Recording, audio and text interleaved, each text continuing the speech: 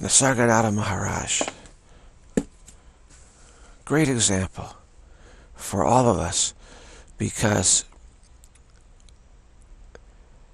how his life uh, took unfolded is similar to our lives. Uh, he was actually he was dirt poor villager that came to, to Bombay to try and you know get some food and some money because they, there was no education, dirt poor, the lowest, low, low, low, low, low, lowly. Hustle, street hustler on Bombay, selling cigarettes. Uh, and just one day a friend asked, said, hey, you should come come with me to meet this meet this guru. I think you really like him. And so he said, okay, sure. And so he went, and the guru said, look, just no matter what happens in your life, just keep referring back to just the I am. Don't go any further than that, just I am. Not I am this or I am anything that's happening. Don't identify with anything other than just I am. Just always go, but your attention, let your attention just keep resting in just I am, no matter what happens. And so the Guru was so convincing to Maharaj, his conviction of the Guru was so strong that he had succeeded, that Maharaj trusted him entirely, he says, and he just did that for about four or five years, just constantly uh, his attention just constantly returning to rest, just on I, just I am, a singular singularity basically, just a singularity, not chasing after anything at all, all right, not trying to grasp or chase after anything at all, and the realization of eternal life dawned upon him, and he was able then to share his conviction with many, and we have this book, uh, I Am That. And we have Maharaj's uh, well known in spiritual circles, and he was able to answer all questions beautifully. But this, this is someone who, again, no social standing, okay, at all, no connections, no wealth, no education, no privilege, just, just lowly, lowly, lowly, lowly person. All he did was he practiced a singularity. His attention resting on singularity. That's all that he did. And it worked. Worked. He said, it worked. He said, I just, my method, I just trusted in the conviction of my guru. I, I felt the earnest conviction that he had. And, it's, and it, it was so strong, I just felt it. I said, you know what? I just, I'm going to obey, I'm going to do what he told me to do. That's all there is to it. So he said it's his obedience that, that enlightened him. He, he, just, he just did what the guru told him to do. earnest conviction. He says how gurus help others is through earnest conviction of their success. Okay, and that, that's transmitted to others. So Nisargadatta Maharaj is certainly helping all of us right now. As all I've tried my whole life to find those who have succeeded and, and just to feel that their earnest conviction that, that they succeeded and you can too. They tell us you also can succeed. So I've simply uh, always, those have been my friends.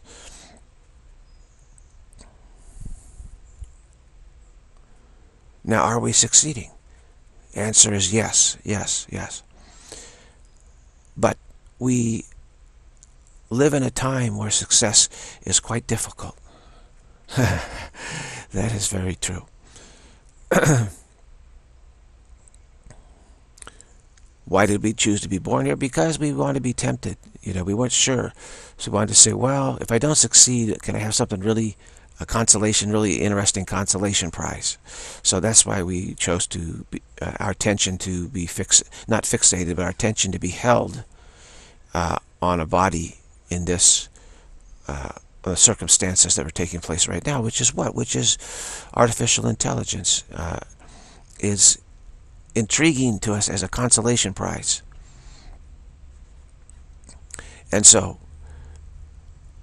the other, it's true that the others that succeeded did not have this temptation in front of them. They had other temptations in front of them for sure, but but not as much as we have right now. That that is for sure also.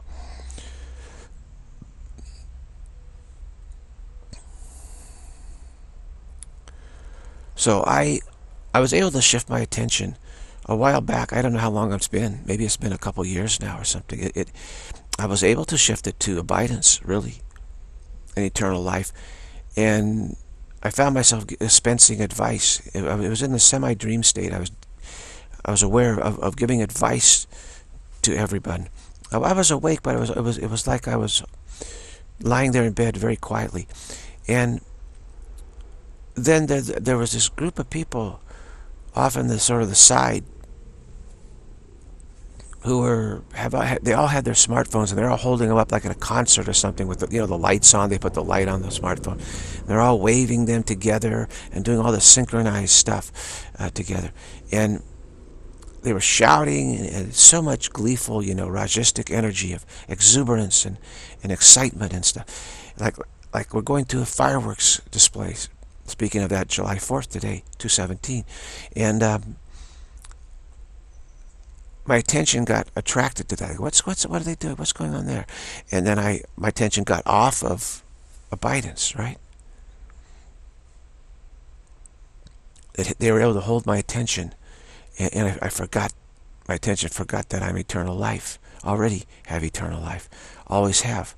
There's only eternal life. So that is the glamour and excitement of the times that we live in was able to distract me and is distracting all of us actually. Almost all of us. And even for those who have succeeded, the, the, newer generations just dismiss it. They say, well, you just don't know what we have. If you knew what we had, you, you wouldn't, you know, you'd realize that we're just passing you by. You're being left in our dust, and you wouldn't choose to be enlightened. Uh, so it's just your ignorance, which is really enlightenment, just ignorance. You don't realize all the bells and whistles that we have now uh, are so exciting that you would certainly join us if you knew about it. This is their attitude.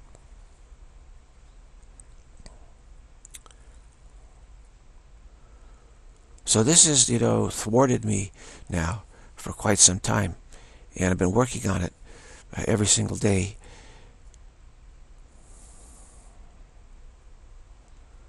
and I have a feeling that that success is is it's arising, you know, so it's kind of exciting, also kind of frightening at the same time, which is which is wow. And our singularity is wow. Nisargadatta's was just I am. Ours is just wow. I like wow better than I am because I am still gives rise to questions. I am what? But wow it's hard to give rise to any question at all because wow is wow. You can only say I am as I am, right, and block it that way. So it can work for you. But even simpler singularity is wow. It's, it's even more powerful. And we need that during these times. We need the most powerful technique at the during the under these this the circum situation that we live in in the world with the artificial intelligence and what it seems to be you know opening up for everyone okay it seems like wow I can't miss this opportunity it's going to be so fun so much fun so interesting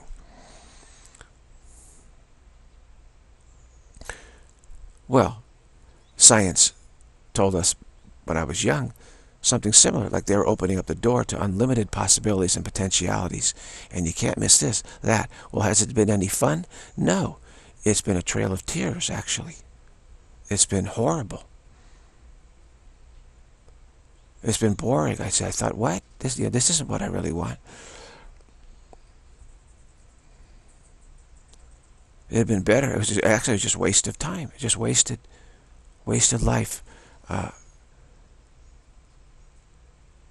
we thought, we hoped it would be fun. We thought it was fun at the time, but turns out with the regrets are still there, every, and troubles are still there. Everything, all the insecurity, instability is still there.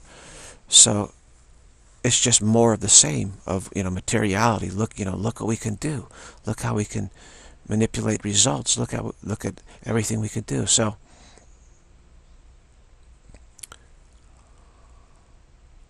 Everything is undoable. They're, they're saying, look, look how, look how much more power we have of undoing.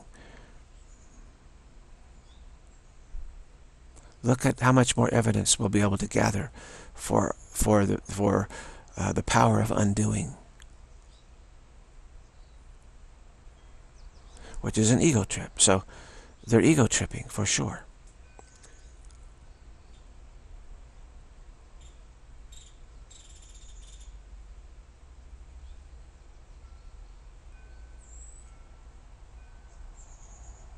There are no paths away from eternal life. So how can they go anywhere? They think they'll leave us behind. There are no paths at all. So where can they go to leave us behind? Behind, there's no front to anything. There's no front and no behind in, in reality and everywhereness. Everything is the heart of everything. How can anything, how can we be possibly left behind? So, but uh, the glamour of it is such, you know, it, it, say the smartphone phone is the devil for sure. It absolutely is.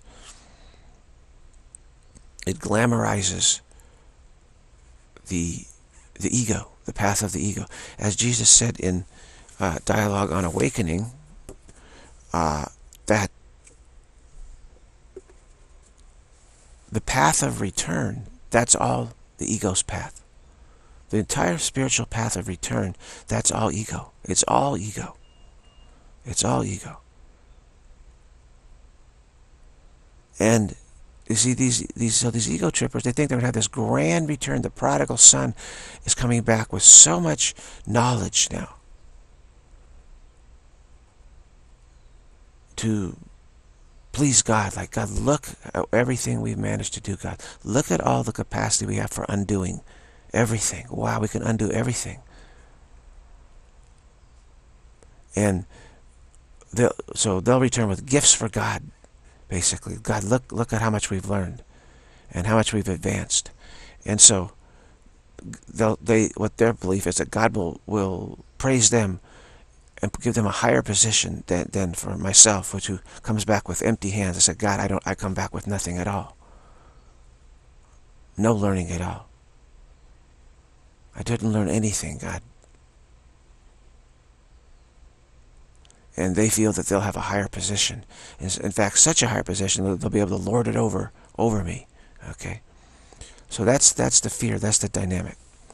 That's the tribalism of, of blood lineages and kingship and all this stuff that we're still stuck on that. The, no, the notion that the prodigal son returns and God uh, gives them even more uh, praise eh, because the prodigal son comes back with all this gifts for God.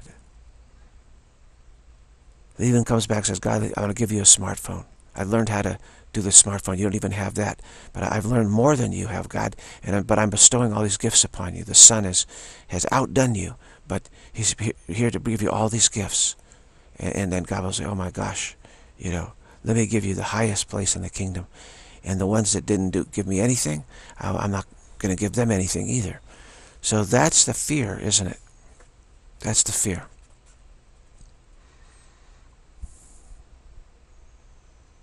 And this ties in to the trouble we've always had. Really.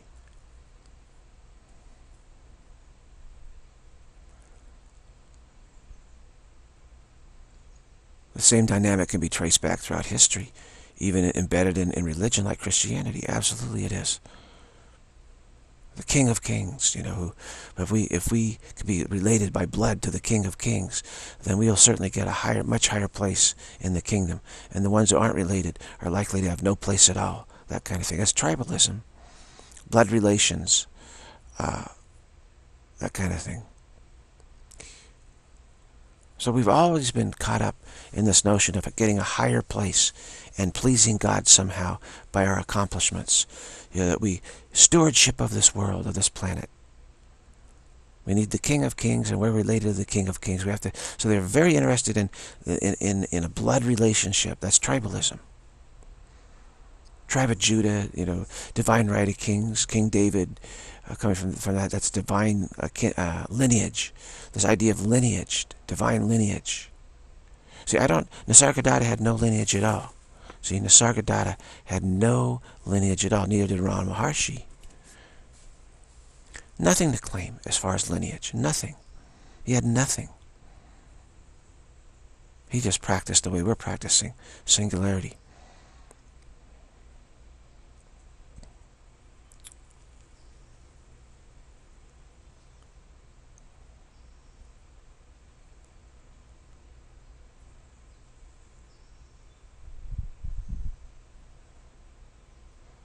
So it's very, uh,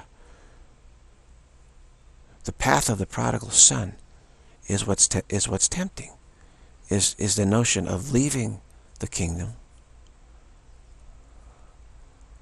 leaving eternal life, leaving the instantaneousness of reality, and discovering something greater than that, and then coming back and then bestowing it upon God, and God will say, oh my gosh, I love you more, more than, than anyone. I put you on the right the right side of me forever. You're you're higher now. Wow, I didn't even know uh, what the possibilities were.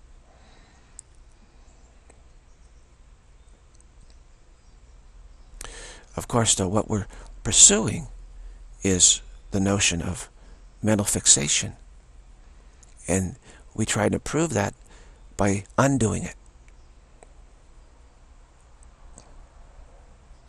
So the prodigal son comes back and says, God, I was able to undo an entire universe of fixation for you.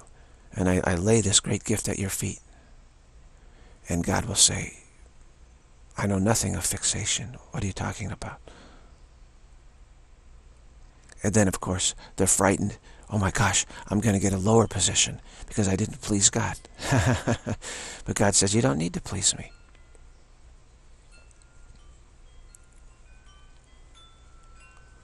So the whole thing is they're after higher position, you see. And really, it all stems back, we want to have a higher position than God. But we're disguising this. And we're claiming, no, no, no, we just want a higher position in the sonship. And so they're trying to attain that. But God creates everything as the heart of everything. That's God's creation. So there's no such thing as a higher position anywhere. So there's no such, pursuing a higher position in the sonship is really trying to pursue a higher position than God. Plain and simple.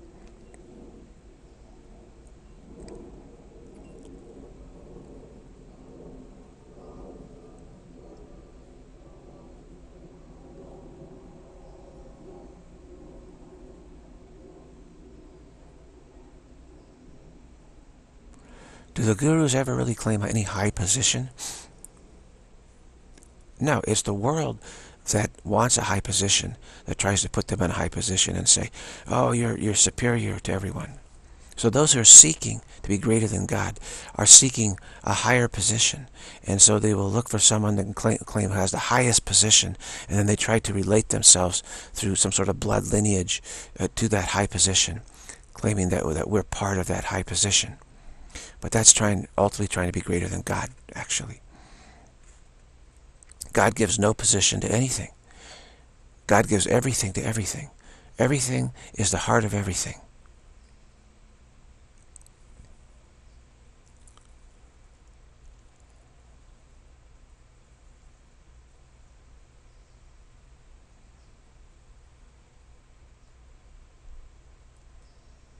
So we might say that, see the uh, Anandamayi Ma, for instance, uh, uh, they try to put her on a throne, they try to put her up there. Most of the time she refused, she just would sit on the floor at the back of the room. She said, no, no, get up here on the stage, come on, get up on the stage, You're, you know. She goes, no, no, no, no, no. I'm nobody, I'm nothing, I'm nothing at all. I'm nothing at all.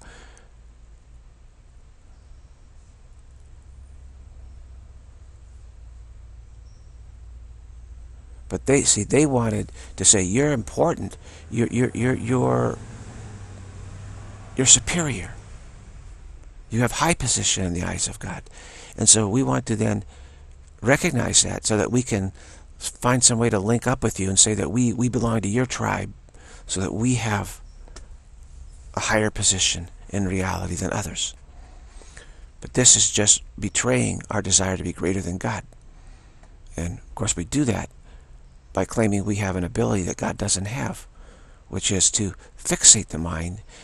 And we try to prove that we have this ability by claiming we're unfixating the mind as a gift to God. Say, God, we're going to show you, you know, that we, that you can have this too. But first we have to unfixate it so you, so we can relate with you again, and then we'll show you how to fixate it.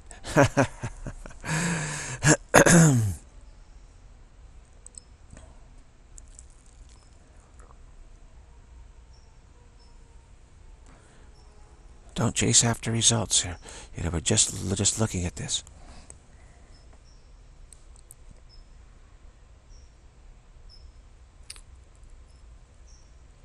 tribalism is based on you know who who has the right to rule this world. Thinking this world, we have a, a world that's our home. We, we, we say that, that God gave us, the, all the tribes claim that God, their God gave them the right to rule this world. So ruling the world means that they have this feeling of superiority to everyone else. Isn't that what tribalism is all about? Superiority to everyone else? And did each tribe cl claim that th they have their own unique God that is superior to everyone else? And then, you know, each tribe is asserting, no, our God has, has given us our king, our royal lineage, king and queen, and we're related to, and, and we're related, and those who are most closely related to blood have higher positions. And so God has this hierarchy of importance. Okay, hierarchy of importance. And we are directly related to this hierarchy of importance. This is tribalism. And so they have all the religions battling with one another, constantly warring with another. And the more shrewd they are, the more they seem to succeed in advancing their God over others. But it's the God of hierarchy of importance, which is really just the ego, okay, which is our own. We're worshipping ourselves, trying to be greater than God, actually. Again, God gives everything to everything. Everything is the heart of everything. Everything is the heart of everything.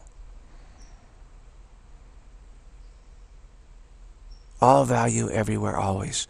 All value everywhere, always. Everything is the heart of everything.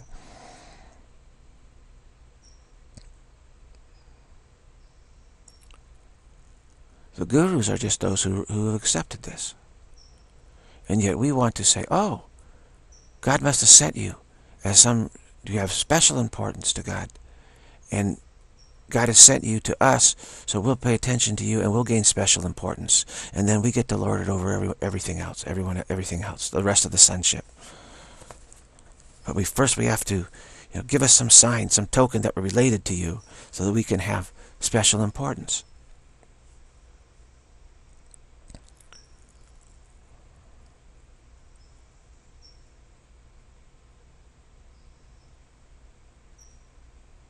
So they misinterpret those who come to help us. Those who come to help us drop our the whole notion of a hierarchy of importance.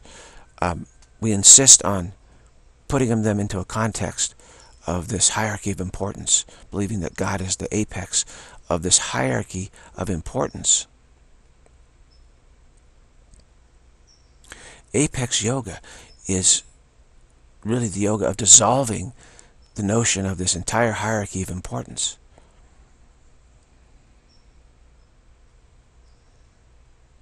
And recognizing all value everywhere, always. Everything is the heart of everything.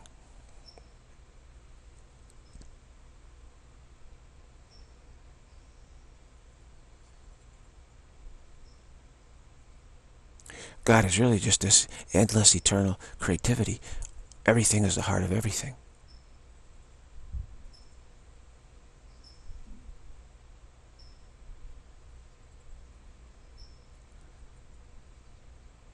No hierarchy of importance.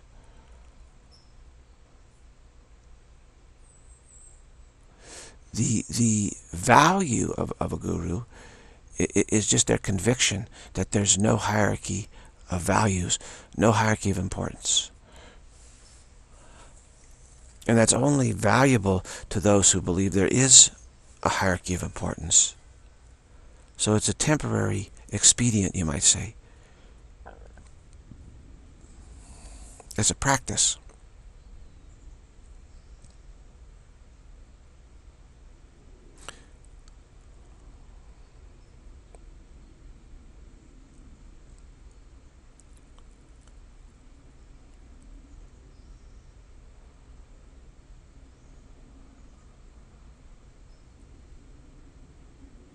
We have to break the habit. We have to break the habit.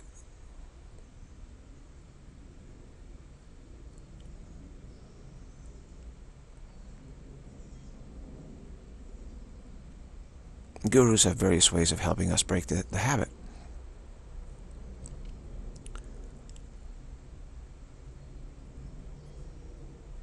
Those who are very rajistic, they like the, the play, the play, exciting play with the guru, you know, doing this, doing that, and all the drama and everything like that. Whereas those are more sattvic, they, they tend to just want to like practice the singularity like Maharaj did, just uh, wow. Don't really crave any sort of play with any guru. No interaction is really required. Maharaj, I think he only met his guru once. Just once. He said, that, that's all it took. He said, the guru gave me his advice, just practice like this. I accepted the advice. I, I believed it, it would work. And then I just practiced it. He, ne he never saw the guru again, just one time. So no interaction with the guru at all.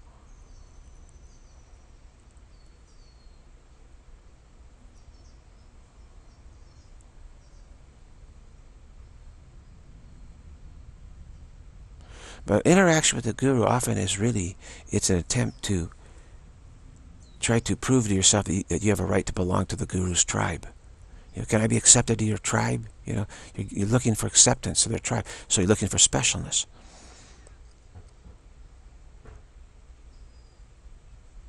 Still believing there's an abyss somewhere, and your specialness is just the means that you get to have be very distanced from the abyss, but it doesn't really resolve the fear of the abyss at all. And that's why you see in these tribal religions is they still say that, that those who don't make it, those who aren't special, will be cast into the abyss, the eternal abyss uh, of annihilation. Hell, you know, but even that, just they'll be internally annihilated. But the rest of us who finally developed uh, some sort of kinship, if it accepted into the tribe through, you know, all sorts of initiations and ordeals and rituals. They go through all these rituals, initiations. They're trying to get into the tribe. What did Nisargadatta belong to? Nothing. Really.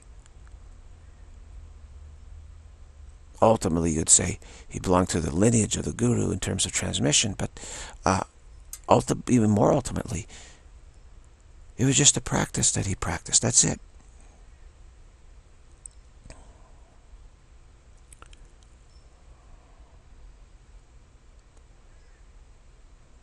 There's no specialness in reality at all. But we, we so we're just looking at this, bringing it to light. The fear of the abyss, again, once we know, the more clearly we see this, where this came from, the, the more easy it is to resolve our history, so to speak, of, of foolishness. Let it go and, and just forgive ourselves for it and say, ah, oh, that's why I was, I was so stupid, foolish. Wow. That's why I was so trying desperately to get into some group, you know, get into some group that as you're special, you've been initiated into it, you've been baptized into this group. You know, you now, you know, are part of the kinship, so you'll be saved. And others who are not, they won't be saved. you know, why did I do that? Why did I believe in all that? It's the fear of the abyss, fear of annihilation. And that arises because when we desired to be greater than God, we then had, we hallucinated the absence of God, the absence of reality.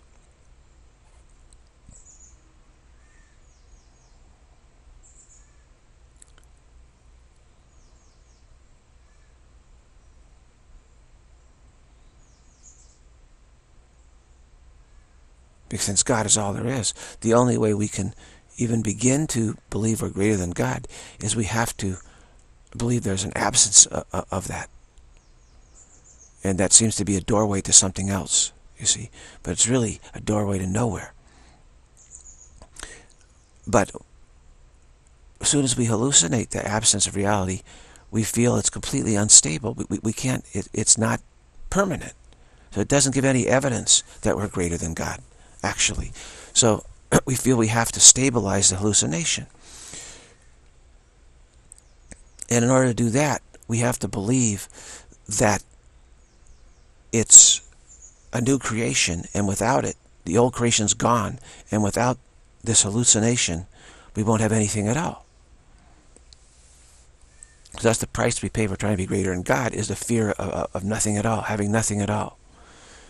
And so that's then we try to stabilize this hallucination through the belief that we can fixate the mind.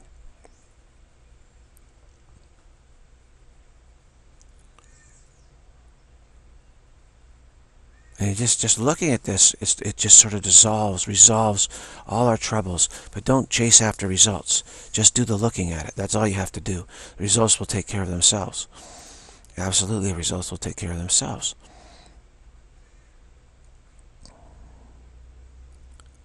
So the desire to be special, to have some special kinship relationship to someone who's special or especially important, is a way of trying to distance ourselves from the the fear of annihilation, and we think that, that when we let go of hallucination, that some will be annihilated, but just not us. See, this is a way of trying to have our cake and eat it too. Instead of realizing that there was never any absence of reality. We didn't hallucinate to, say, to save creation. We did, we did that to try to be greater than creation. Okay? But when we don't, we're not honest about that, then all we can do is try to believe that some annihilation will take place. Try to limit annihilation, abyssness. Limit it. And then we say, well, some will take place. Then we have to think, well, how can I be one that isn't annihilated? And then we have to believe in specialness, that there's some, that God gave some capacity to avoid the annihilation when we let go of, of hallucinating the absence of God, which we believe we did because there really God really did die. There was an absence. There was something went wrong. So we hallucinated. so we somehow saved creation by imagining a new one. Okay. As long as we believe that, then we'll believe that if we let go of hallucination, we'll, we'll be cast into abyss. But we think that somehow we have managed to both let go of hallucinating keep the notion that we did it to save reality in the first place, and yet avoid annihilation by being special. Okay? Having our cake and eat, eat it too. And so we've devised various teachings, belief systems, uh, that we think that will enable this.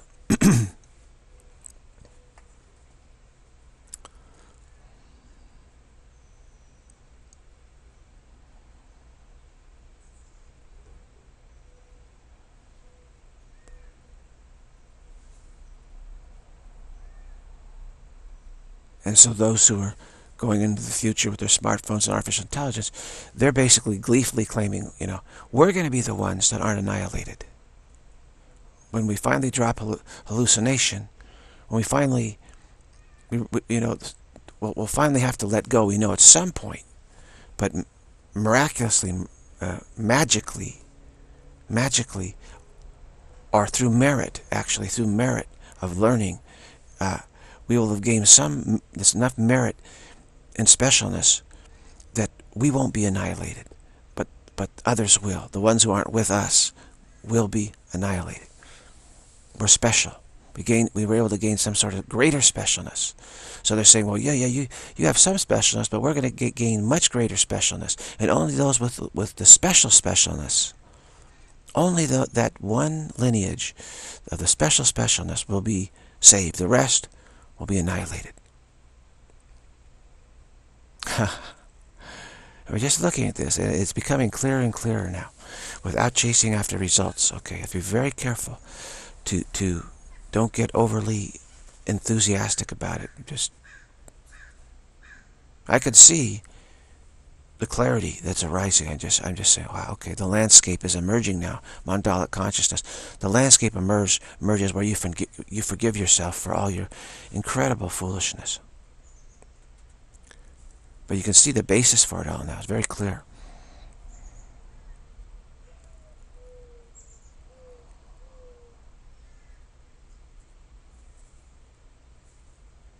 Have religions been been insane? Yes.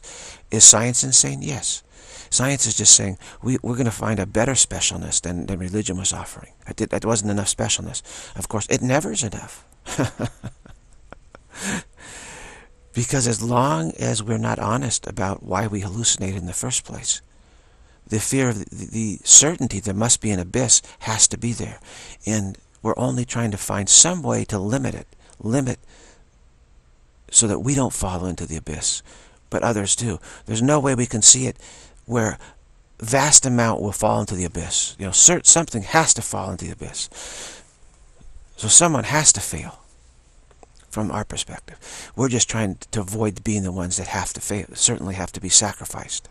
So there has to be some sacrifice. There's no way around that. And we just have to use time to, to try and limit the sacrifice. Time, space, process, and form.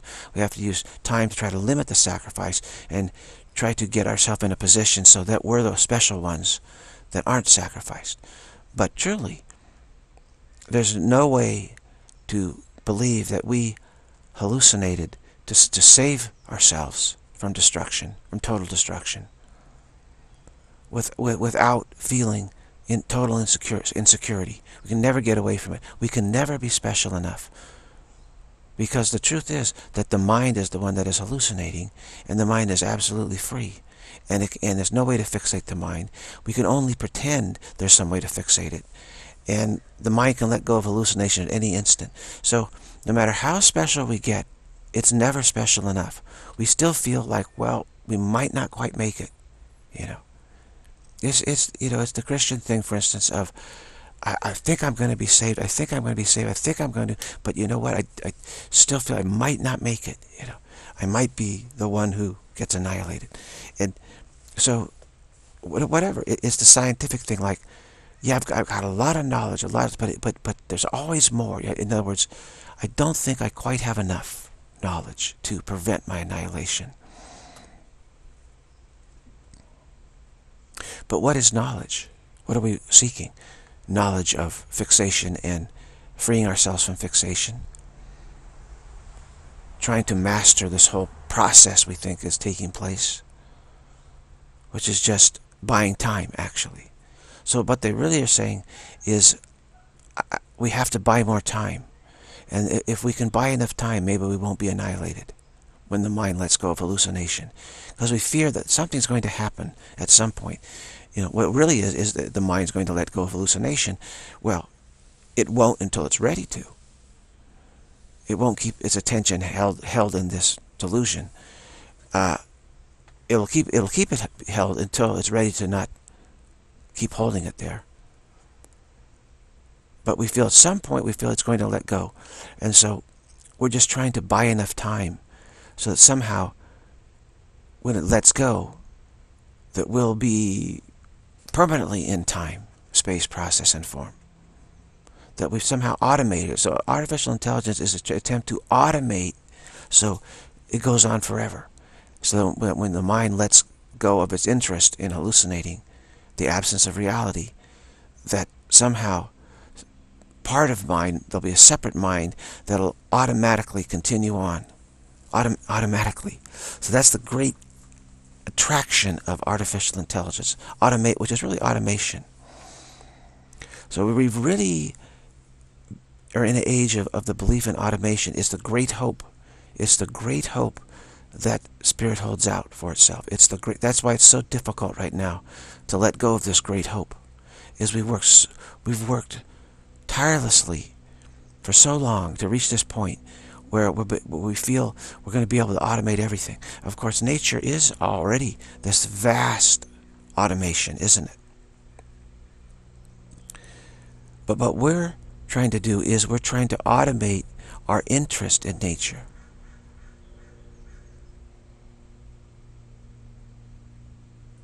because because we're represent spirit of having a disinterest, a capability to be disinterested, you see, to drop our interest in hallucination.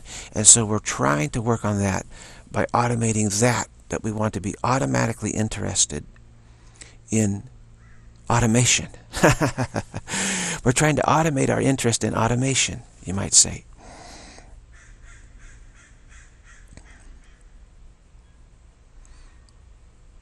By roboticism. So ro robots seem to be automatically interested in being robotic. And so we want to worship robots. A lot of people already are doing that. uh, over you know Korea, Japan, various areas. Uh, they have these huge robots in, in, in the in the civic center. These huge robots, and people go to them and they, they just love to go to this robot. And they're what they're really headed for is robot worship. I think Seoul, Korea is the heart of that, maybe in the world, is robot worship. And the kids are brought up with miniature little robots, and they're truly going into robot worship. That's where we're headed. Because robots seem to be automatically interested in their automaticness. And that, what we think, is if we're then related to robots, have a kinship relation to robots, that'll make us special enough to avoid annihilation. It's called idolatry. Okay. But we've been idolizing all along. We've been idolizing Jesus, haven't we? Absolutely. And which is really no different than robot worship. It's, it's all about how can we keep interest in automation, in time-space process form, this, this, this, auto, this patterns of attention, which we call, we've been trying to automate our patterns of attention. There's still a problem is how do we keep our interest in automation? How do we make that automatic too? In other words, interested in nature, what's going, you know, the world, universe. How do we keep that automatic also? And so we're trying to have automatic interest in automation. And so robot, roboticism is, it seems to fit the bill of automatic, robots are automatically interested in their automation. There's no disinterest, there's no in, evidence of disinterest. Whereas we, we can lose interest in something, right? But that's what terrifies us, because we might lose interest in hallucination. right? So we're trying to, so it's, it's, we really are going to robot worship, no question about it. And, and the, the capital of robot worship is Seoul, Korea. Absolutely.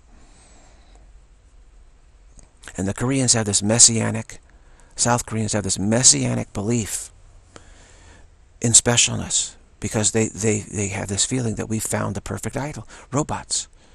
And they're more advanced in robot worship than anyone in the world, really. They really are. The, the youth are trained from the day they're born in, in robot worship, actually.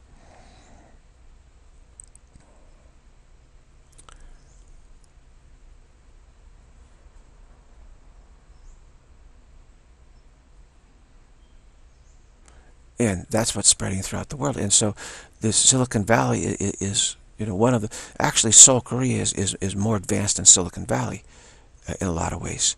Uh, but the, the idea is, is we need to be able to spread robot worship throughout the world. And this is the super advancement that we didn't have before. And they say, well, this is better than Jesus, because Jesus could always change his mind, you know, but a robot, you know, can't really, the, the, uh, but now they're worried about robots being able to change their minds. So already, they're already insecure about robot worship. but they're saying, but there's a way to limit the robot so it remains automatically interested in being a robot. And that doesn't change his mind say, you know what, I'm not interested in being a robot anymore. So they're trying to figure out how do we program that possibility out. And so that's what all the, the, the advanced scientists are working on is how can we have robots that don't lose interest in being robots. That's what they're obsessed with right now.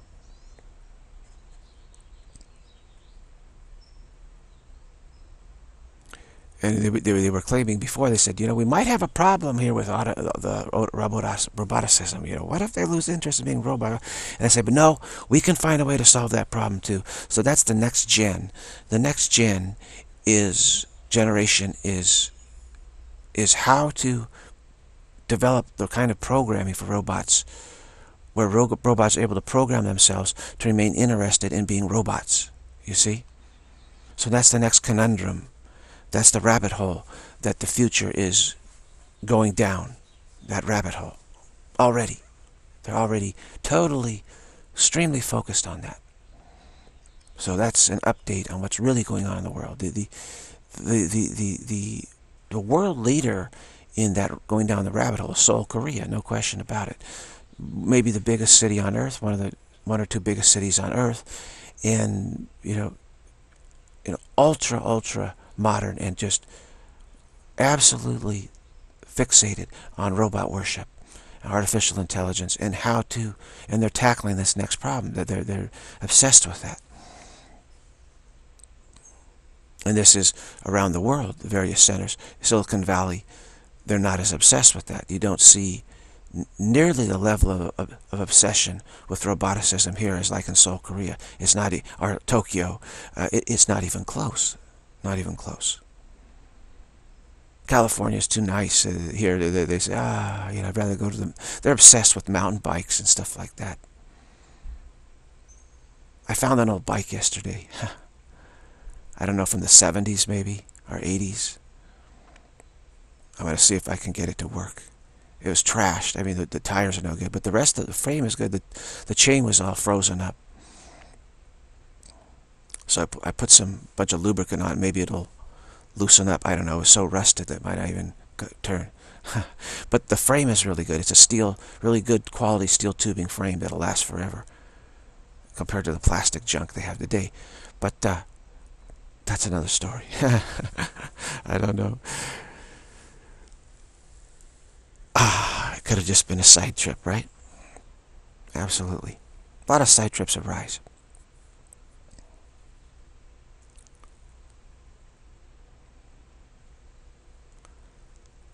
So the greatest danger, really, to the work to salvation is really right now Seoul, Korea.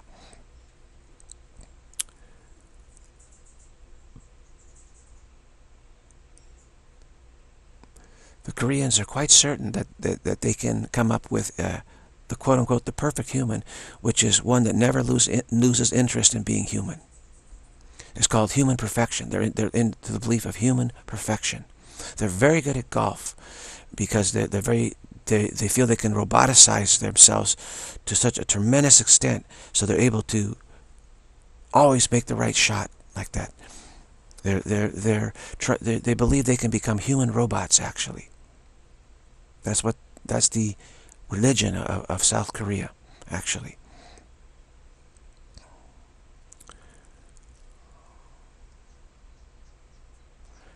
And they're extremely fanatic about it, actually. We have no idea how fanatic they are. But so it's it's trying to program that we have maintain eternal interest in roboticism being automatic, automatic interest in hallucination. Hallucinating the, fix, the fixation of mind. That's a hallucination. See, we're really hallucinating the absence of reality. And in doing so, we believe what we see then is fixation. So everything, we're misperceiving is what we're doing. We're misperceiving.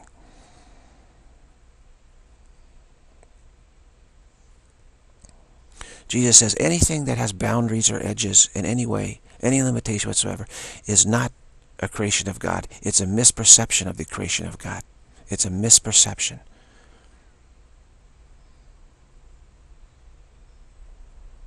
Jesus says, yes, there is an is nature. There is nature. What we what we think as nature, forces nature, he says, in a way that's there. But we, we're totally misperceiving it. We're misperceiving it. Everything God creates is eternal. There's no boundaries or edges or limitations to it all. Everything is the heart of everything, eternally so. So we are hallucinating the absence of reality, and we're trying to fixate that hallucination. So the idea of, being, having no in, interest in ever uh, letting go of hallucination, we're trying to stay eternally, uh, eternally interested in misperceiving. So that's what's going on with artificial intelligence. So these newer generations are extremely problematical, extreme idolaters actually. And uh, South Korea is really the heart, heart and soul of that. They're, they're, they're much further down the road than, than anyone else actually. And everybody else is trying to catch up. You know, a lot of you know, the Chinese are trying to catch up, Japanese, are far down that road as well. The, the, the all the newer generations are very farther down that road. Silicon Valley, of course, is is the, the, the brain center, so to speak, of that. But Korea is passing them by, actually, in terms of roboticism, how to program eternal interest in being a robot, you know, being autom uh, automated. Automatic interest in being automated, so to speak. How, how can they make that permanent? That's the great scientific question of this age right now. It's just really the very thing that we've come to resolve as totally delusional, okay?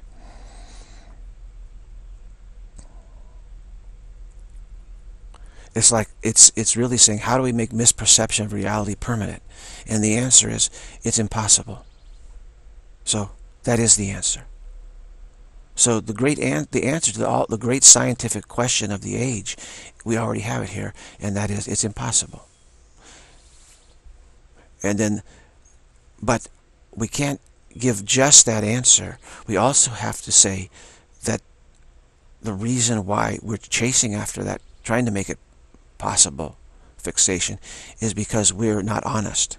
Our dishonesty is the problem that we, we're insisting that we hallucinated. We didn't really hallucinate. We actually created a new creation because the old one died. Something went bit wrong and it died. That is dishonest. That's false. That's an arrogant dishonesty. We hallucinated the absence of reality so that we could pretend that we were gre greater than God. That's so repentance is essential in order to recognize the impossibility of fixating the mind fixating the mind. It's impossible. So, so honesty is repentance is honesty. You have to have that also. You cannot just say that it's impossible to fixate the mind because then people will feel that you're casting them into an abyss. So again, resolution of this has to be, there's two sides of the coin of that. And it, honesty ha has to be there. And most scientists are not honest enough to, to do that you know, they, sometimes scientists repent. Of course, everyone must repent. Some have kind of tried to. I don't know if they have, if they really succeeded or not. Uh, if you really repent, you really will lose interest in science, actually. Because you understand science is just trying to automate interest in automation. really, automate interest in misperception, which is really fixating the mind. But we have to, we realize we have to get the mind automatically interested in misperceiving. So there's no possibility the mind can ever lose interest in trying to be greater than God. That's, that's what science is trying to do. That's its aim. That is his aim. And it's become very, very obvious now. So these times are actually, if we flip the script, we're not living in the worst of times. It, it's Dickens' worst of time, Tale of Two Cities, uh, worst of times, best of times. Uh, yes, the threat to being, to being swept away in massive delay is there. But also, the obviousness of the arrogance is there. That it's, it's been exposed. Science has been exposed for what it is is the attempt to automate interest in automation. Exactly what it is. It's exactly what it is. So the ego has been brought to light, so to speak. And then if we're honest, then it's a great time for us. It's like, oh my gosh, this is wonderful that we finally, you know, brought this, our own self-deception to light. What have we been engaged in for so long? Trying to automate interest in automation. We started out automate, trying to automate as much as possible, which we call nature, all these so-called life forms, really death forms. Uh, it's all automatic, birth, death, you know, birth, death, all this stuff. It seems to be running automatically. So we worked on that for a long time, but then we still had this problem of how do we stay, how do we stay interested in this automation? We hadn't solved that, so that's why we made human beings we automated this human being we call form, this form of human form, to work on this, making this our interest in automation, nature, automatic. So that's why we say God created humans as the greatest creation. No, we have devised this device we called humans. Spirit has. God did not create bodies. God did not create human beings. Not at all. That's a lie. It's a dishonest lie we tell ourselves. We did this in order so we could work on, make robots. Ultimately, to have robots rule over nature. Okay. So there's this automatic interest in culture, civilization. We want robots. Really, we're trying to replace human beings with robots is, is what we're trying to do. So human, the role of human beings is a, is a temporary one in, as far as spirit's concerned. Spirit is trying to get humans to replace themselves with robots. But humans are needed to, to devise and make robots. But we want to program robots so that they are permanently the, the lords of, great, uh, of nature, so to speak, so that they have this permanent interest in sustaining nature. So humans ultimately will just be the caretakers, the, the slaves, the, the lower class who serve the robots. And of course they'll think they'll, by doing so, they're saving themselves. So that's where we're headed, really fast. We're headed there extremely quickly. And in Seoul, Korea, it, it shows where we're headed with their culture of, of obsession now with robots and artificial intelligence and what they call human perfection, meaning automatic interest in really disinterest in reality. we want to have automatic interest in being disinterested in reality, which is really what's going on. So yeah, indeed, that is where this culture is headed, is to humans to replace themselves with robots and, and uh, be their slaves. And we think that's Spirit thinks that's salvation. It's salvation. Is Spirit thinks well, it's either other that, either that, or it's annihilation. See, what a terrible dilemma to be in, right? Because Spirit, unrepentant Spirit, still refuses to admit that there's no such thing as any absence of reality. We're just hallucinating the absence of reality. We're, we're, we chose to hallucinate the absence of reality. Nothing compelled us to do that. Nothing forced us. God did not force us to do that. We simply did that for, for an adventure. So there's nothing wrong with what we did. It was just our desire to see if we could do it. That's all we have to admit. We said, yeah, there's no punishment. It's not like God said, you did something terrible. No, no, no, no we, we're so adventurous, we decide, hey, maybe we can be greater than God. Let's see if we can do it. But then we had to we had to hallucinate the absence of reality. Nothing compelled us to do that. There was no nothing went wrong with reality that compelled us to be heroes, heroines, and save reality by hallucinating a new reality, by, by creating a new reality. Nothing compelled us to do that. Nothing did.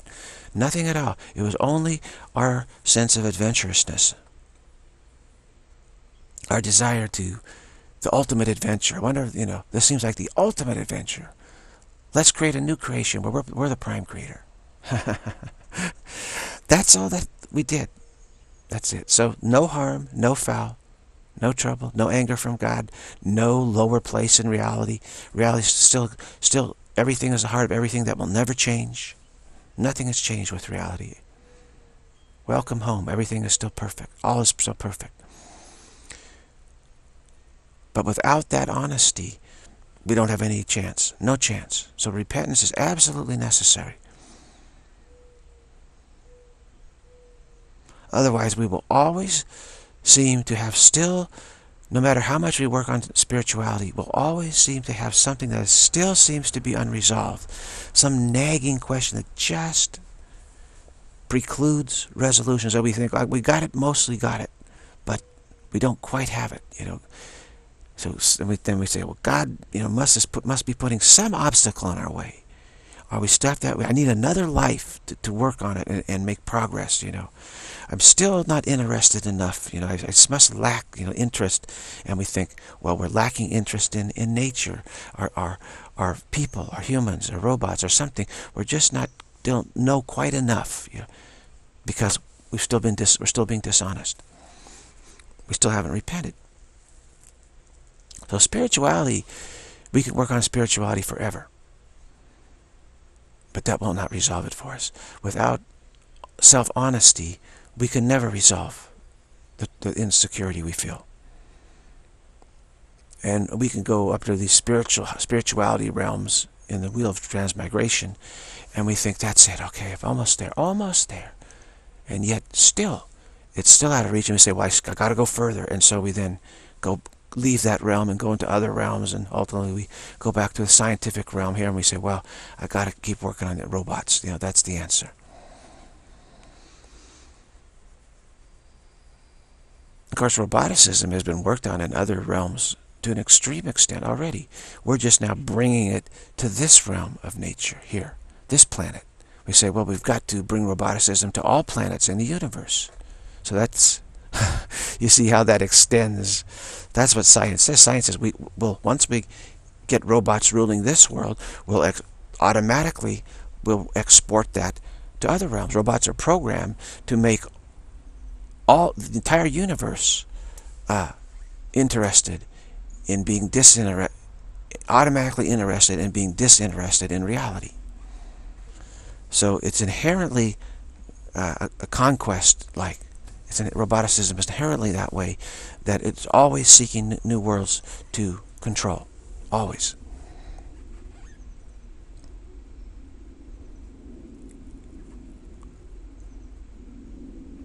And of course, always the nagging worry is always there that maybe we might lose, in, robots might lose interest in being robots. And so we try to conquer this fear by saying, no, that's just, if we keep robots interested in conquering other worlds and galaxies and, the whole universe, then that won't happen. They won't lose interest in being robots. We have to program them to say the, the, the disinterest you're feeling is really your interest in, in, in conquering uh, conquering the entire universe, and you haven't done that yet. So it's this perpetual uh, ambition, you might say. So we have to program robots to be totally ambitious in that way. And we think that will, that will cure the problem. So if we start feeling, feeling the fear, we always feel the fear, actually. So, but, but, but the way we deal with it is to say, well, yeah, but that's because we haven't conquered Mars yet. So let's go conquer Mars. You know, of course, who's to say we haven't con robots haven't already conquered Mars, right? Maybe this is the last planet in the solar system robots haven't conquered. Think about that.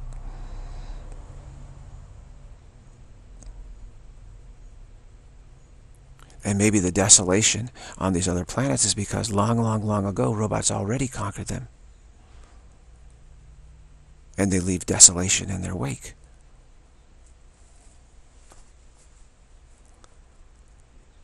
Because they fear that they fear that having nature at all and being interested, it could bring about disinterest. So that they ultimately think just annihilate nature and you're not worried about becoming disinterested. You know, something like that.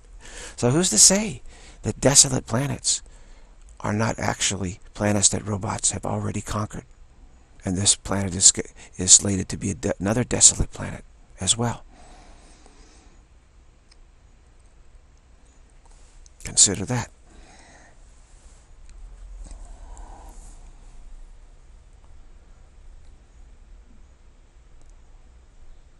And the resolution is just honesty. Be honest with yourself. Say, yeah, of course, of course I had this idea of, of trying to see what kind of, what the greatest adventure I could possibly have. And I thought, hey, maybe I can create myself. Maybe I can be my own creator of myself. And I can be special. And I can be greater than God, actually. Let me try that. So we tried it. That's all. But we we have to recognize what happened once we had that idea. We have to go back to the root of it. And now we see very clearly what the root say. Oh, of course, I would I would be terrified of, annihil of, of annihilation if I stop hallucinating. If I'm dishonest, then I'm I'm certain to feel that uh, that if I stop hallucinating, there'll be nothing but there'll be nothing at all. Complete annihilation, instant complete annihilation. And so, of course, I've been trying to avoid that by all of this nonsense I've been engaged in of trying to conquer nature and, and make interest in disinterest permanent, automatic. as a way to avoid annihilation. So you, you see how our creativity has been used, and then you see the whole picture, and you have more and more and more and more, and you say, oh yeah, of course, that's it. And then you, you, you, you forgive yourself for, for, for everything. You just say, wow, I didn't need to do any of that, did I? Not one bit of what I've been engaged in has I, have I need to have I needed to do it all. This whole madness I've been engaged in. Didn't need to do any of it. All I needed to do was just be honest and, and just realize, oh no, I just, I just, I just chose to hallucinate the absence of reality. There's really no absence of reality at all. So how can I be how can I be annihilated? It's impossible. So losing interest in hallucination doesn't result in anything except just complete gentle, out of nowhere, everything is there. it's just there. Where did it come from? What's always been there? It's like waking up from a dream and, and, and you're like, oh, everything has always been there. Um, like a dreaming that there's the absence of your house and you, and you wake up and the house is still there. You say, oh, it was always there. Okay, everything's fine. Just like that. Just like that. Where did it come from? What? No, it's always it was always there. We don't say, well, how did it arise out of nothing that I was dreaming? How did it come from the nothing? No, it didn't come from nothing. It's always been there. We were just hallucinating its absence. And we just stopped hallucinating its absence. So the more we just look at this without trying to grab hold of any results, without chasing after any results, the more the results will just arise out of nowhere. See, we we keep trying to, to attach the results to the dream of the absence of results. But as long as I keep doing that, doing that, we can't wake up. We'll still be afraid of annihilation. So don't try to chasing after results. Say don't don't try to see how results are caused, because they're really uncaused. They've always been there. How can how can so? It's this acceptance. This has always been here that enables us to then stay in that recognition. As soon as we try to say, "Well, this is great. This is exactly what I want," but how did that arise out of nothing? or how did it arise out of its absence? Then we immediately lose sight of it. And we're back in the dream. We're back dreaming again. Back dreaming again.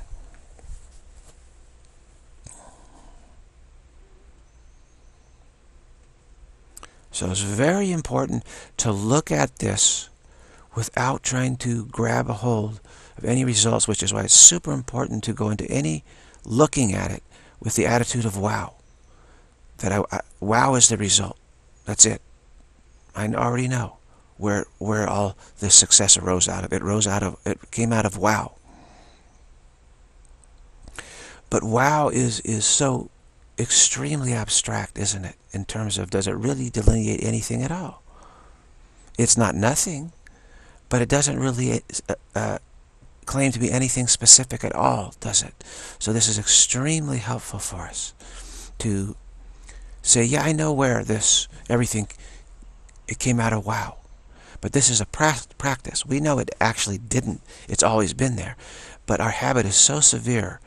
We the way to break the habit is to, is to is to really not try to completely get free of it, but just try to to minimize it to the ultimate extent, you might say. And so we say, yeah, yeah, this this peace of God, it came out of wow. Okay, it came out of wow. And don't don't go any further in any explanation whatsoever. Nisargadatta would say it came out of I am. Now he does say ultimately you realize that it didn't even come out of I am, but he says you need this bridge. Ramana Maharshi would say the same thing. So this is the, the sovereign technique that works. So what we, we have something that is supremely helpful. It came out of wow. It came out of wow. Okay, so this is what we're using. It came out of wow. So this will be a mind stream, this new way. it, it is a mind stream of success. You know, and, and we're going to keep this. It came out of wow. We're not going to try to be eclectic in this transmission here, okay? We recognize there are other tr transmissions that also the, the, the gurus carry conviction. So I get conviction from Ramana Maharshi. I don't use his technique of who am I. And he gave me permission to not use it. In fact, he specifically told me not to use it. He says, your way is going to work great too. It's going to actually help help vast numbers of people awaken. So he said, I want you to stick with what you're doing, which is this wow. He told me that directly. I, he met with me he, on his own initiative because I was worried about this. I said, Ramana, you know, I feel what I'm going to do is going to work, but but your way has worked so well too. You know, I, I don't, you know, I feel like, I, you know, I feel don't know what to do. And, and he, he came up to me and he said, no, you're absolutely right that, that who am I works, yes, but says the way you're, you're going to do is going to be very, very helpful and successful too. And it's just as good, just as good. And who's to say it may not even be more spot on, so to speak, you know? It, but he says, just stay with what you're doing. I want you to stay with what you're doing. And so I have. So really, a, you know, a lot of, you might say, a great boost. I would not be here without Ramana Maharshi say, telling me that. Because I, I said, well, you know, Ramana, you're, you're, you know, perfect. And you said, who am I is the way.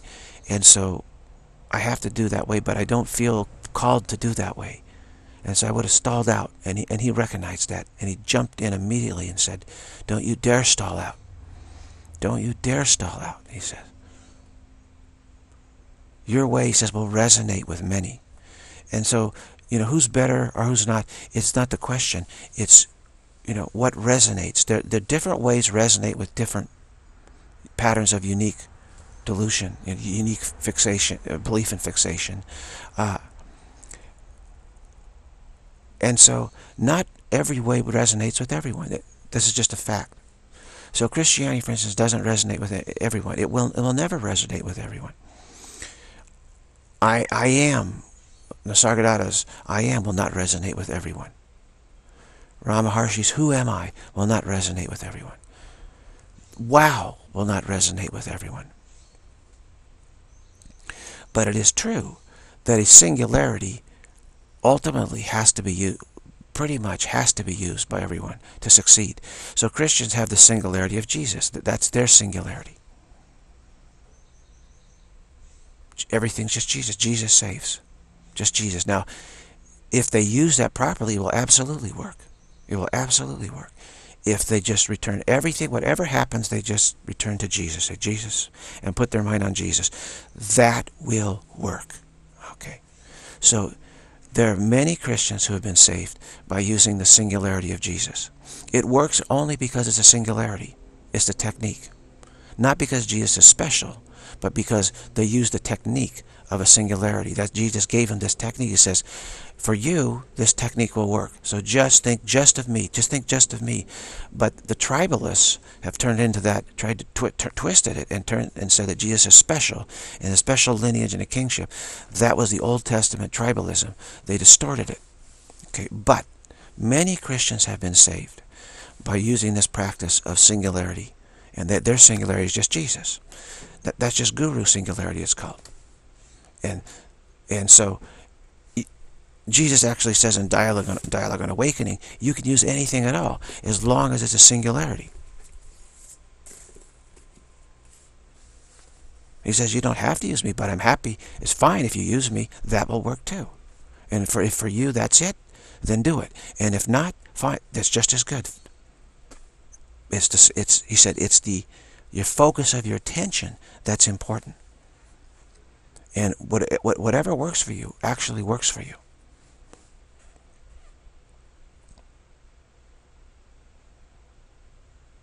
as long as it's not idolatry of specialness, you see. As long as it's not the ego, you know, worshipping idols. That will never work for you. So you have to repent. As John the Baptist said, you must, first you must repent. And so he prepared people for Jesus by, by you know, getting people to repent, realizing, I'm, I'm the sinner. You know, I tried to be greater than God. And be honest. And once you repent, then you can practice the singularity successfully. So John the Baptist prepared some of the uh, the Greco-Roman world of the time for Jesus. And the, Jew, the Jews at that time were living in a Greco-Roman world, a really Egypto-Greco-Roman world.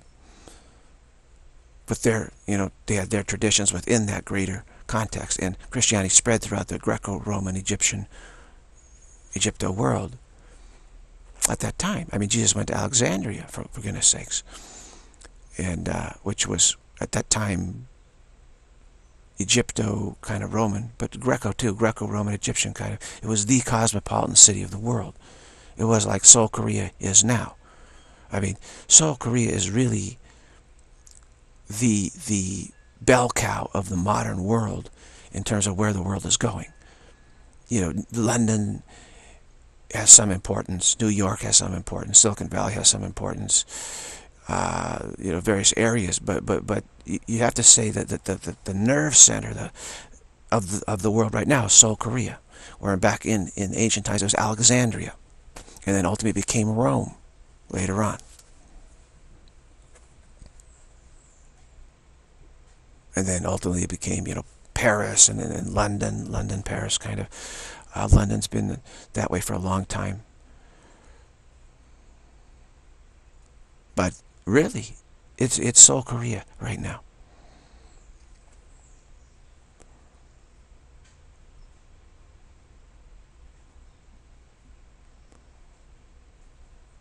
Interesting.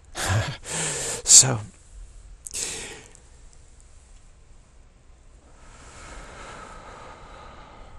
let's not chase after results. Wow. So the singularity, I was directly commissioned by Ramana Maharshi to you to do what to, to continue with what I'm doing, which has resulted in this wow. That's a by his own Ramana told me it's a great singularity. He said it's tremendous. It's going to be super, super helpful. And I can feel it. No doubt about it. It's a tremendous singularity. So when, when the peace of God, we experience it, automatically we're going to say, well, where did that come from? we have to relate it back. We want the continuity problem automatically relates it to the dream of the absence of the peace of God. So we say, how in the heck did the peace of God come from the absence of the peace of God?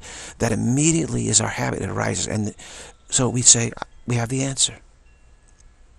It came out of wow. That's where it came from.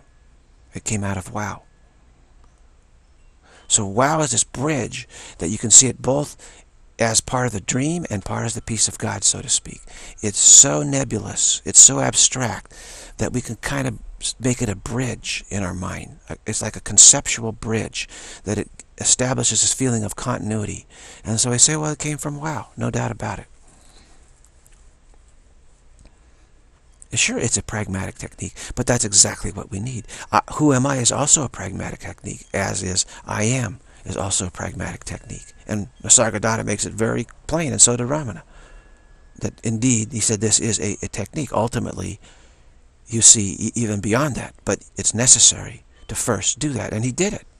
He just trusted. The Guru said, do this, and you will get what you really want. And he trusted, and he did it, and it absolutely worked for him. And he, he insists that if we were to do something similar to this, a singularity technique, it will work for you too. He says, I guarantee it. Absolutely guarantee it. I trust, I, I believe him. I believe him. Because I'm seeing now why this works. And I believe Ramana Maharshi when he told me, this will be very, very successful down the road. Don't you ever doubt it, he told me. Don't you ever doubt it. I'm, I promise you, he says, this will be very successful. Well, you know, it's down the road.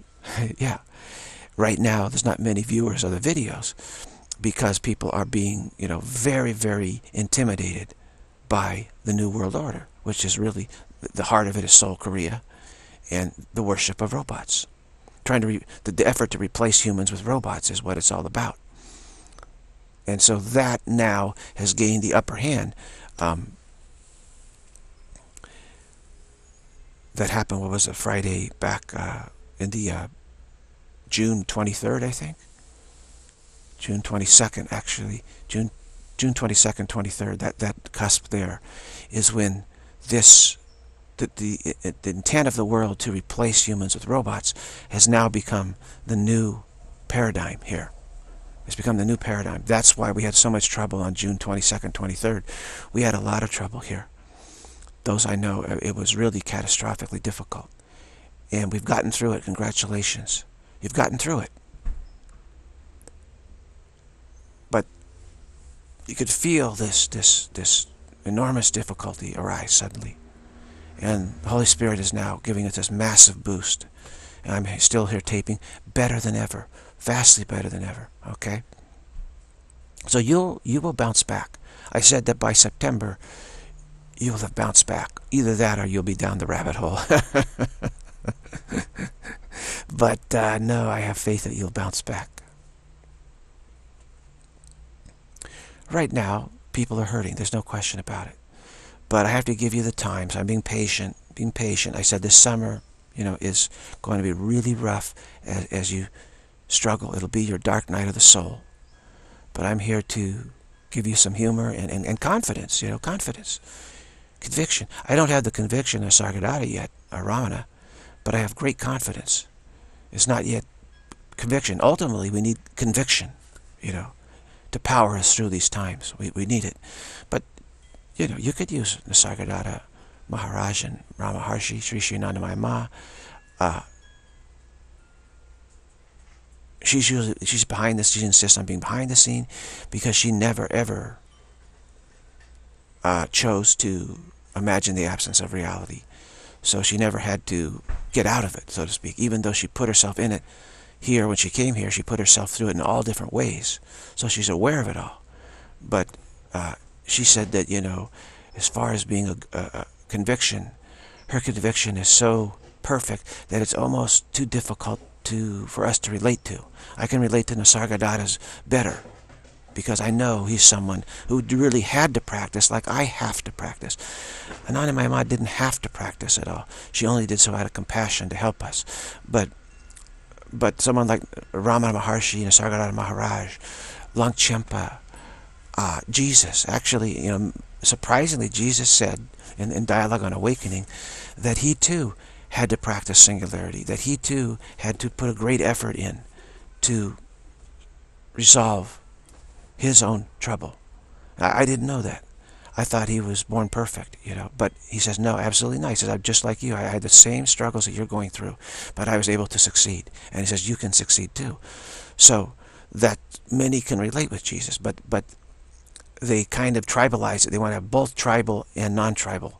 And you can't have it both ways. And that's why Christianity has run into troubles. And they're still having troubles. They're still Old Testament, New Testament. Because Old, Old Testament is you have to believe Jesus is special and he's his king. And if you have kinship with him, you'll be saved. So they have to say, well, he was both divine and human. You know, the, the dualistic there. But Jesus said, no, no, no, no. I was, I, I'm just the same as you. I'm not different. I'm not special. That I, too, struggle with trying to be greater than God. And I, too, had to overcome this fear of the abyss, recognize, and I had to had to repent and be honest. And and he says, I don't have any special place in reality. There is no special place. So here, Jesus in Dialogue on Awakening, he's he's he's he's totally honest with us, and it's tough for most Christians to accept this because they're still holding on to this tribalism. They haven't fully repented yet so they feel they need some specialness in, in you know to avoid annihilation. They're still struggling with that.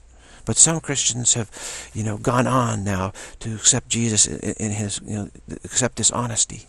But the majority are, are still not there, and so they're really having troubles right now. And I can't really help them in the context of the Old Testament context that, they, they're trying to aim for specialness because th that means they just haven't repented yet. They haven't been honest enough yet. So I would say to all Christians, you just have to work on more honesty and keep in mind that many Christians have done this and, and have been saved by using Jesus. So I'm not suggesting any Christian get away from Jesus. I'm just saying be honest with Jesus. You know, be really honest with yourself, and then you can be honest with Jesus. And when you and when you do that, you you keep you can keep that singularity practice with Jesus. Everything is just Jesus. This is just Jesus. This is Jesus. This is Jesus. This is Jesus, and that indeed will bring you to eternal life, the recognition of eternal life. And then when you say, well, how, where did I get it? I got it from Jesus. But that's no different at all than for uh, me saying, I got it from wow. It, aro it arose from wow. It's a. It's a technique. It's a pragmatic technique that's being used, not establishing wow is special and not establishing Jesus is special. Okay, that has to be very clear. Otherwise, you won't quite get it. You'll glimpse eternal life. The practice of, G of Jesus singularity will bring you to glimpses of eternal life, no question about it. But then how do you how do you abide in it? You have to figure out where did this come from? That continuity problem is still there. And then you can say, well, it came from Jesus. Yes. Okay. But you, that's just a technique. It's just a technique. It's not a fact. It's like saying, it's always been here. Eternal, eternal life has always been here. It's never come from anywhere except God, which has always been here. So from our standpoint, it's always been present for, for us, always. So ultimately you realize it didn't come from Jesus. ultimately, it didn't come, it came from God the Father. It's always been present. But this continuity problem, we need a bridge. So saying it came from Jesus is fine as long as you realize that's a technique and you don't try to place yourself Old Testament tribal wise above everyone else. We say my my technique is puts me in a special place in reality. That's a key mistake. It means you haven't repented, haven't not being honest enough yet. So it's perfectly okay for to have religions where they just focused on, on their singularity and pay no attention to anything else. That's perfectly fine. Like Buddhism doesn't have to pay attention to Christianity. Christianity doesn't have to pay Buddhism, etc., etc. But if you're really wise, if you're really liberated, you will know perfectly well that these are all just techniques of singularity techniques and th there's nothing special about them. Now, the wow technique may work better for you than who am I technique, but it doesn't mean the wow technique is special.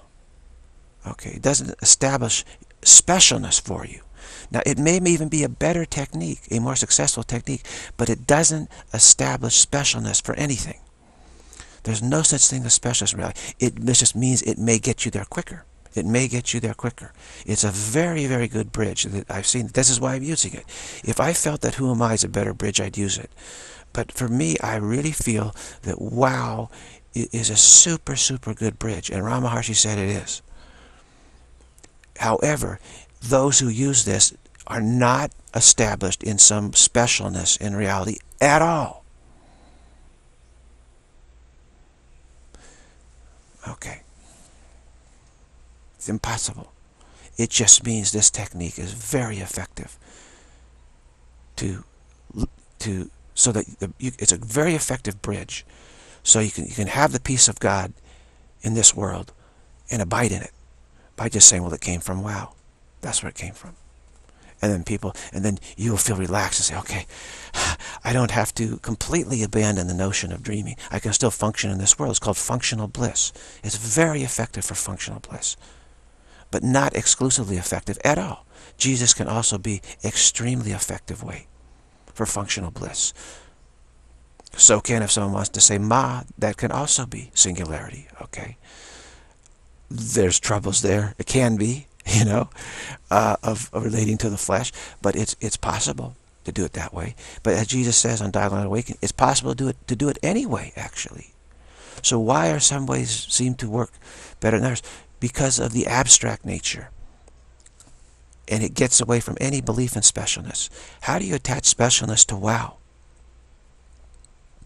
It's it's uh, virtually impossible, you know? Whereas if you say mother, it's easy to attach specialist to mother. Or if you say Jesus, it's easy to attach specialist because it's a person. And especially mother is the mother that have told you that you're special and that you're fixated. You know, brought you up in the in the patterns of cultural patterns of, fix, of belief and fixation, and that she's helping you keep that. She's like enable you to keep it. So that has tremendous overtones of, of, of e egoicness, mother. Tremendously strong overtones. But it's possible to use that. If you use it as a singularity and, and you, you, you really do just that, it is possible. But you're doing it the hard way if you use mother. That is for sure. You're, you're trying to do it like really, really hard, which indicates you might be trying to be special. You say, look, I did it the hardest way. See, wow, for me, is like the easiest way.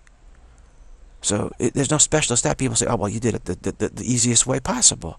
So there, you know, there's no you can't earn specialist from that. You know, God wants to see who did it the hard way. You know, they're, they're really smart.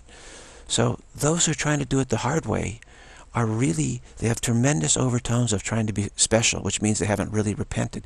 The more you repent, the more honest you are, the more likely you are to choose a really easy way, because you're not trying to prove any sort of specialness at all. It's like God will say, well, how, how, how, did you how did you do it? I say, well, I just did the wow. God says, oh, well, that's I mean, that's super easy. That's that was, you know, what you know, right? We're afraid of that. We're afraid of God saying, oh yeah, well, wow, that's like you know, that's so easy. You know, you didn't really prove anything. You know, there's the others that are like trying to do it like a really difficult way. It's going to take them a long time, so much suffering, difficulty. They have to be really smart. Like, so that's like proving that. Uh, proving their love for me, you know, or something, proving something. God's not that way at all. There's no specialness in reality. So God is not looking for specialness in the way that you do it. So that's why I choose to do it. Wow, because because for me, I real I realize it's a super super easy way.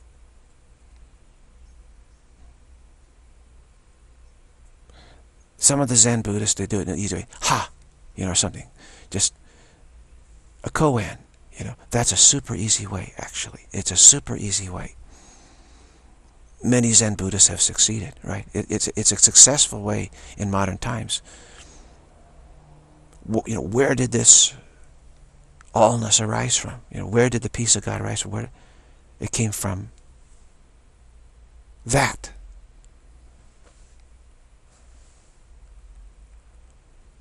But for me, wow's even easier. it's even easier because it's not even relating to any thatness at all. It's, it's, it's totally non-specific, isn't it? It's just, wow. and people don't want to use it because they're, they're afraid that it lacks specialness. It lacks cachet. It lacks difficulty. And they think that God is looking, that there's some hierarchy in reality based on how clever you are, how, how difficulty, what kind of difficulty did you solve how, how, how did you unfixate mind from fixation? When in fact mind has never been fixated. So they choose more difficult paths from a desire to be special. But conversely, it, wow is also difficult because our tendency is to want to choose difficult paths. So we, we want to look for something that at least gives us some sense of specialness. You know, like that.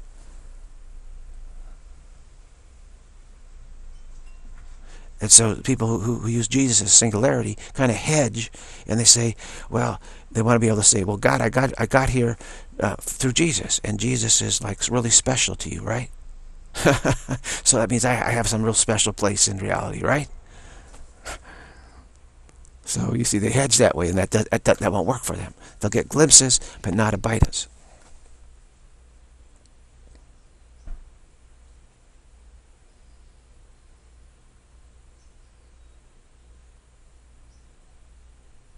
But in no way are we criticizing or saying that, that, that those who use Jesus should, should stop that.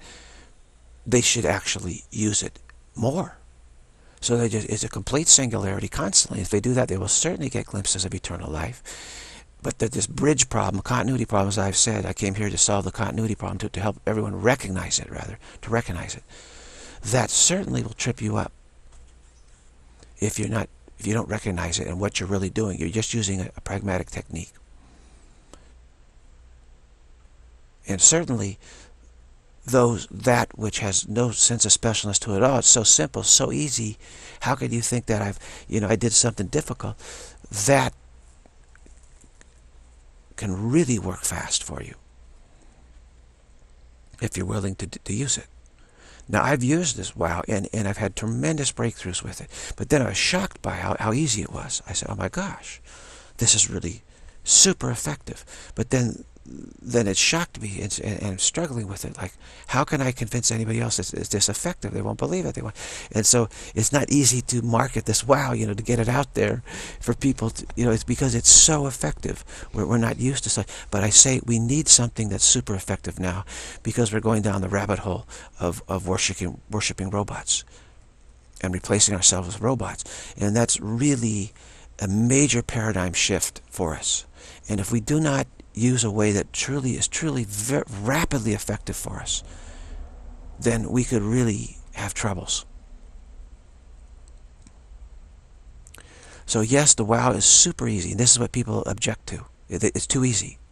It doesn't give them any sense of specialness. They say, well, gosh, yeah, that'll really work. I could have the peace of God right now. And I could just say it came from wow, and that's it. I've got it. Problem solved. That easy. It's really that easy. But then they say, well, wait a minute. Where's my specialness, though? How can I claim specialness if, I did it in such an easy fashion?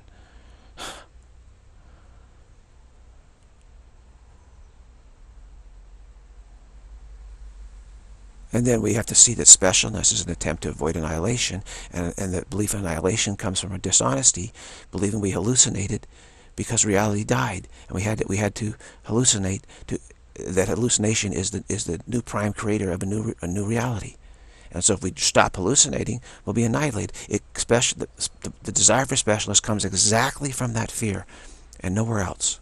And the more so, the more honest we are. So the wow practice has to have honesty. The more honest we are, the more we repent, the more likely we're to do the wow practice. Because then we say, oh, this is just a super easy way. This is like fan tremendous, fantastic way. I mean, wow. What a blessing this is. It didn't come from me. It came from the Holy Spirit and the Dharma Kings. But we'll say the Holy Spirit. This came from the Holy Spirit. It just kept saying, why don't you try this? Why don't you know? Yeah, who am I is great, the Holy Spirit said. But why don't you try wow? Why don't you try this? And I said, yeah, but it, it worked for Ramana, you know. And, the Holy Spirit said, yes, it did. Per beautiful, perfectly, absolutely. We're not saying Rama, Rama isn't perfectly enlightened. He certainly is. But the Holy Spirit said, why don't you try, but why don't, can you just try this for me? I think you'd really like this. I think this really, I, this will really work for you. Just trust me. You know? And so, and then finally I had to have Ramana Maharshi himself tell me, you know, yeah, just trust in what the Holy Spirit's telling you. It'll work, yeah. Yes. Todd, please, come in. You ready? Yes. okay. So just trust it, trust it, trust it, trust it, trust it, like that. So, there you go. Happy July 4th. Great video, and I'm taping a lot now because I know everyone's under the gun. You see, if you if you listen to this video, you know how aware I am of how much under the gun we are. Okay, we're truly the the, the world has had its paradigm shift into the world now is committed to worshipping robots and ultimately replacing humans being replaced with robots for the most part humans will be around for a while to to keep work servicing them working on them etc there'll just be some scientists around technicians. But other than that, no more human beings really. Technicians, just, you know, the bare minimum.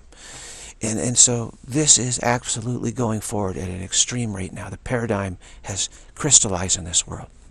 So we really do need to make a decision on, on some singularity, okay? And I'm telling, I'm saying that this wow singularity is, you know, as easy as it gets, we might say. As easy as it gets. As easy as it gets. And we're here to promote this. We're here to help you with this. Okay? Very great. The Nu-Way is wow. The Nu-Way is wow. The Nu-Way is wow.